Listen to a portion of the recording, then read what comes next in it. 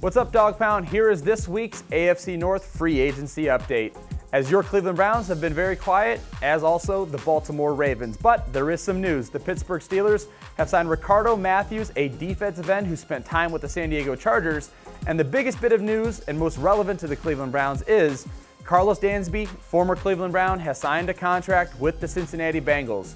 Things are going to be slowing down in free agency as everyone shifts their attention to the NFL draft, but please, as always, stay tuned to clevelandbrowns.com and the Browns mobile app for all your AFC North updates.